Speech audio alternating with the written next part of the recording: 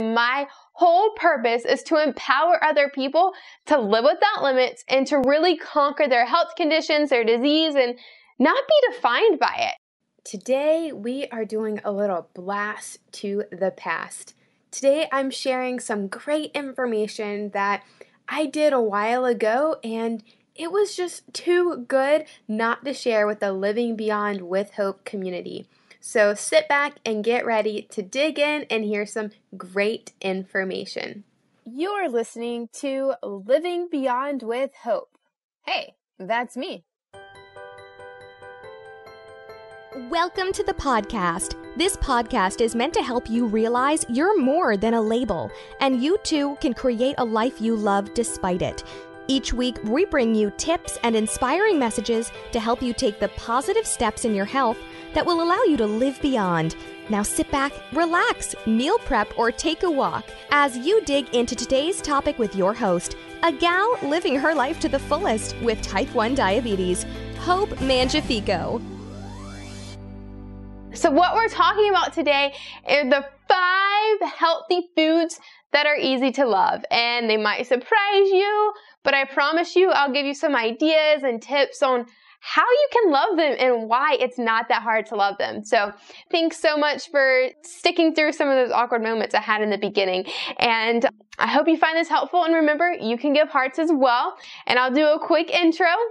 My name is Hope. I have type 1 diabetes, and my whole purpose is to empower other people to live without limits and to really conquer their health conditions, their disease, and not be defined by it.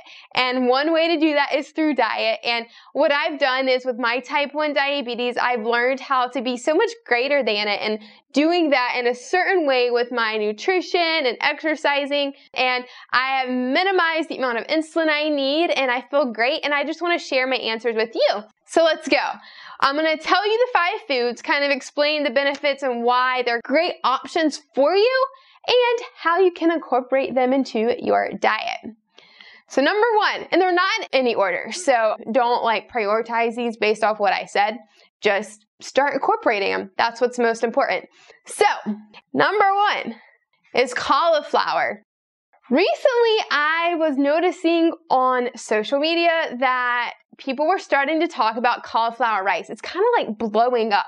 And like, I totally get it. I literally eat it multiple times a week. My husband takes it for lunch all day, every day for the past like four months. No joke. He hasn't skipped a lunch without it. He makes like a Mexican rice bowl and it's pretty rad. But there's so much more that can be done with cauliflower, and a lot of people have a tendency to want to write it off because they're like, there is no way this vegetable can taste like a starchy carb like rice or like potatoes. And I'm here to tell you, cauliflower is like a superfood. In our household, we treat it like a superfood. So what you can do is easily incorporate it by buying some fresh or frozen, throwing it, steaming it, or making it on the stove top. There's many options on how you can prepare it, but literally all you gotta do is like steam it and you can put it in a blender or a food processor and pulse it and you got rice.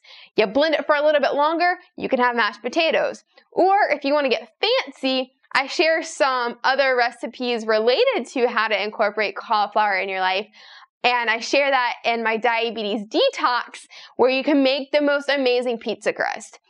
And I'll tell you, you can find some pizza crust recipes because I probably made my first cauliflower pizza crust four or five years ago, but nothing beats this one in particular. Not a thing. So you can transform your health by incorporating cauliflower, and I promise you, you can love it and it can easily replace your tasty carbs that you feel like you may not be able to live without. All right.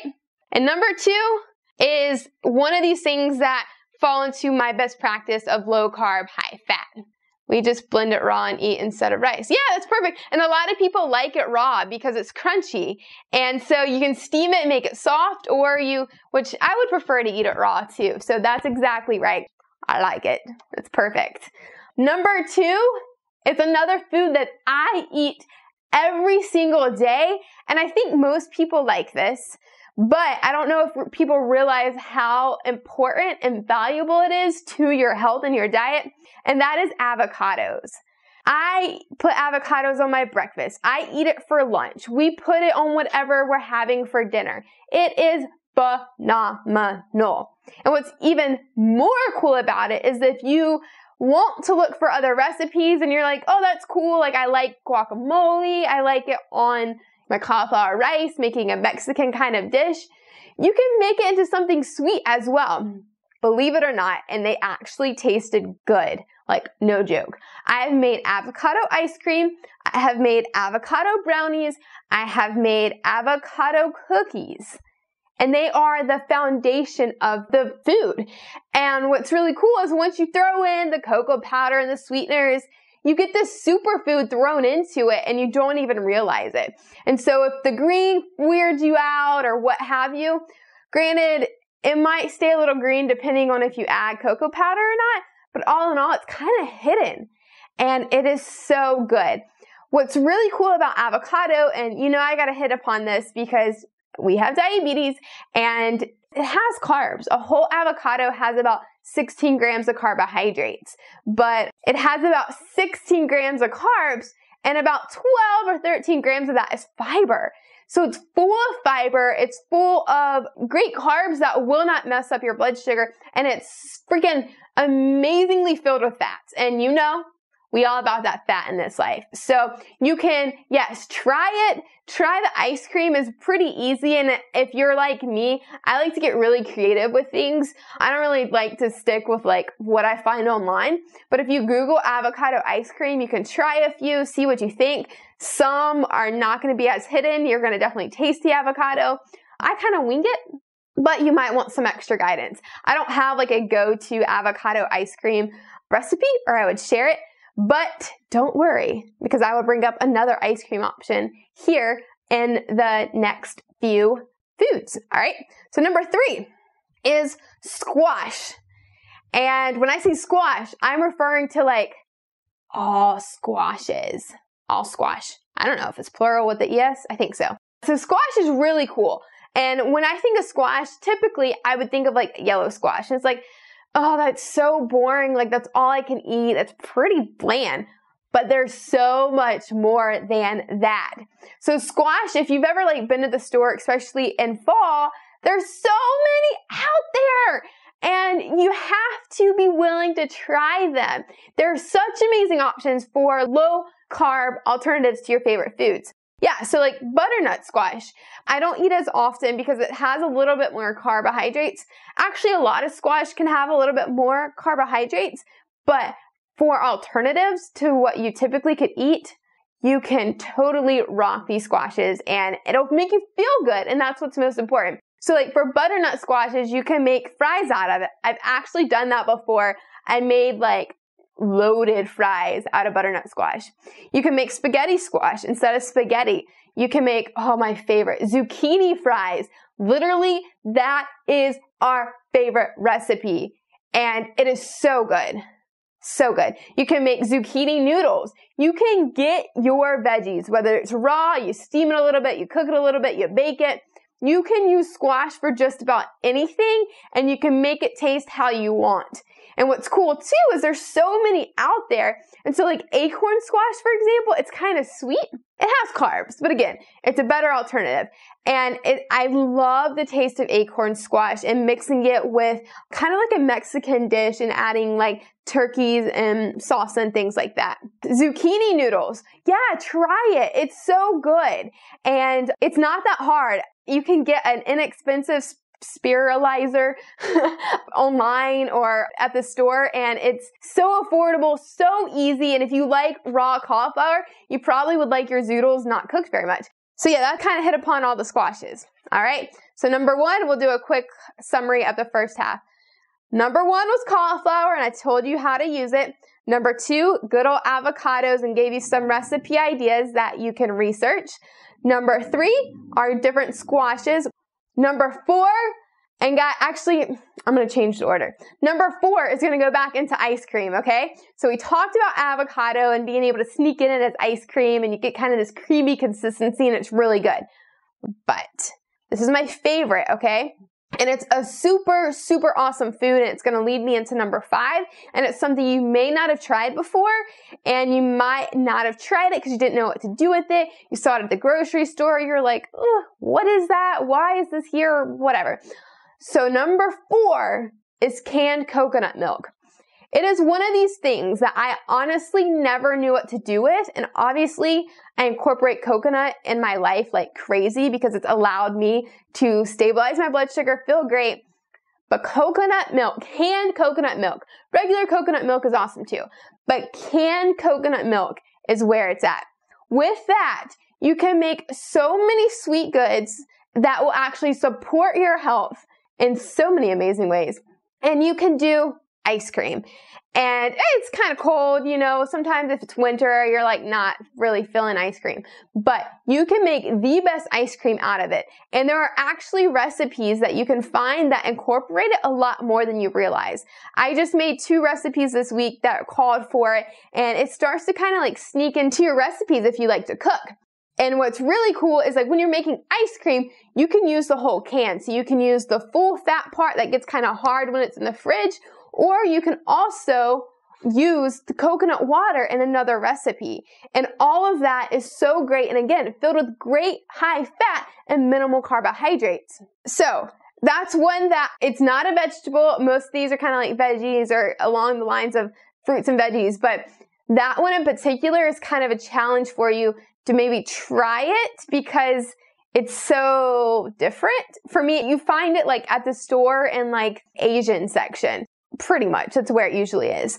And you just try the ice cream first. And you can buy an ice cream maker off Amazon. If you go to myhopefulhealth.com, I have like a resource tab that'll tell you the one that I use from Amazon. It's awesome and it makes making ice cream amazing and it doesn't mess up your blood sugar. Okay, number five. And I recently saw, like literally just today, I saw an article on Facebook about the magic of drumroll coconut oil. Oh my God. Coconut oil, I guess, isn't exactly a food, but I put it in all my foods, so I'm gonna call it a food. And I had to bring this one up because today, when this article was shared in this group, people's minds were blown. And if you know me, you know I've been advocating for coconut oil for forever. The article that was shared was about, and this was so cool because this was shared not in a diabetes group. It wasn't anything like, I don't know, it was in a health related group, but it wasn't diabetes related. But it talked about coconut oil, how amazing it is for your overall health, for your body weight if you're trying to lose fat, and it talked about for blood sugar stabilization. What? Like, I know fat is really good for blood sugar stabilization, but I never really like told people specifically that like that alone helps with blood sugars. And now that showed, and it wasn't like a bunch of research or anything, but I thought it was so cool because it backed why I do what I do, why I encourage you to do it for if you're trying to lose weight, if you're trying to get your cholesterol levels, you know, in control, if you're trying to get blood sugars under control, if you're just trying to feel good. Like I have a program that you can find on myhopefulhealth.com under the Diabetes Academy, and it's called Healthy, Sexy, Strong. And literally, it's my step by step process of how I've gotten to where I am, how I basically live a normal life with type 1 diabetes. And the first thing that I do is do a coconut oil challenge. I challenge people to consume more coconut oil because so many people don't understand how to do it. They're like, how do you eat so much oil? Like, what, how is that possible? It sounds so gross, like spooning it out. Like, do you really do that? No, you can incorporate it in so many delicious ways. Just a few are adding it to your vegetables. And side note, if you're going to start incorporating coconut oil, which I challenge you to do, you don't have to get the unrefined kind. That's the kind that tastes really coconutty. And while most people go for the unrefined, I actually buy the refined, but only one brand of it. So I can put it in and on everything. I make sweet goods with the unrefined sometimes, but all in all, the refined is where it's at but only one. And it's by Nutiva. And you can find that on Amazon. And again, if you go to my resource tab at my hopeful health, H-E-A-L-T-H.com and under exercise and nutrition resources, it'll take you to Amazon and you can see which kind I'm talking about because it's rad and it's amazing. And you can put it on vegetable oils, you can bake with it, you can cook with it, put it in your coffee. It's good stuff. And the moment you start consuming more of this superfood is legitimately considered a superfood. Like by the books, it's a superfood.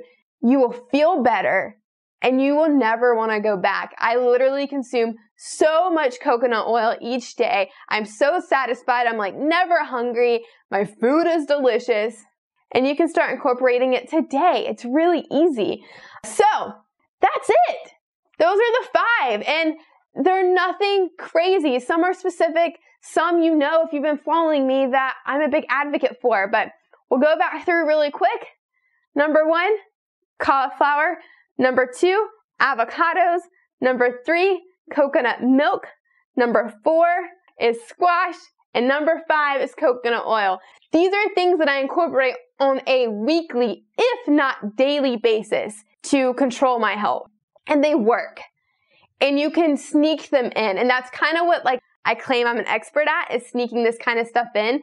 So if you have a child that's like, I want my chicken nuggets and I want my pancakes and I want my chocolate, you can sneak it in there. It's pretty cool. If you follow me for very long, Thursdays I typically do exercise challenges and that's my backdrop. And I'm working on a really cool exercise project where this is like my studio really excited for it. it took a lot of work, but you know, it's all right.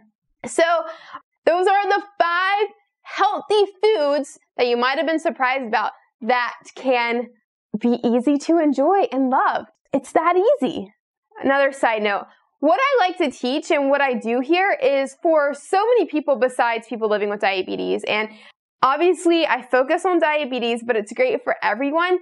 And if you're like thinking this is really helpful and maybe it's something you could start incorporating, be sure to like check out my website and learn more about me and what I do at my hopeful health H-E-A-L-T-H dot com and just look around, look at the blog and read and just see if there's anything I can help you with. And if nutrition is kind of an area that you struggle with, like that's my specialty.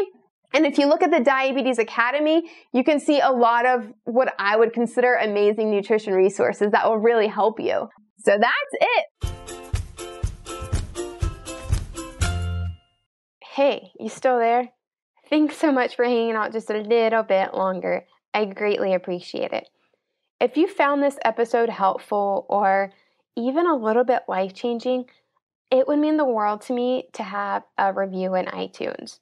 A review on iTunes just lets me know that I am actually providing you with the correct guidance and mentorship that you need to live beyond your label and to be confident in who you are. This episode was also brought to you by my next step guide in embracing your label with confidence, which is called Choose to Live. In Choose to Live, there is a checklist of what to ask your doctors. There's an audiobook. So if you like podcasts, an audiobook filled with affirmations to remind you of who you truly are, what you're really made of, as well as some really like homework and checklist and um, guidance for for your family members so that they can support you along the way. This episode was about community, and you cannot do this journey alone. So, if you're interested in learning more about Choose to Live, just visit www.icanlivebeyond.com, and you can find that in the show notes as well at livingbeyondwithhope.com. And otherwise, I will see you on the next episode.